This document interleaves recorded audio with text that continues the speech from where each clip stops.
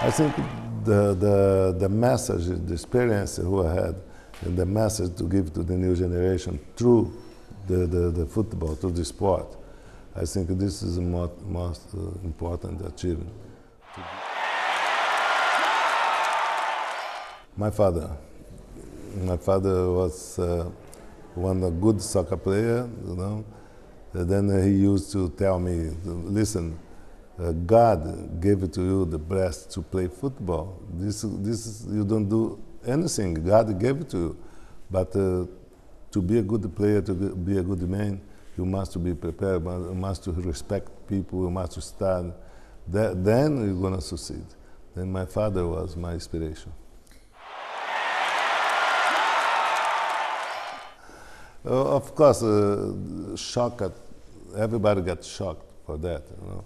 I say the game continue the same because the importance is what what the spectacle you get in the game, what the show you have in the game. Because uh, if you, inside of the field you have good players, nice goals, people forget about that to happen because unfortunately this is a human being. It's a past. We have to forget this and have to clean the football continue. Messi. Messi is the player who I like to, to say. In the film.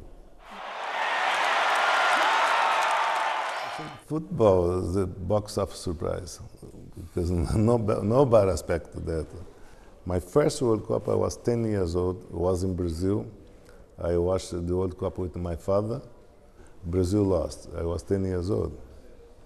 I was in Brazil, my first World Cup. And then my last World Cup was in Brazil after so many years. Then Brazil lost again.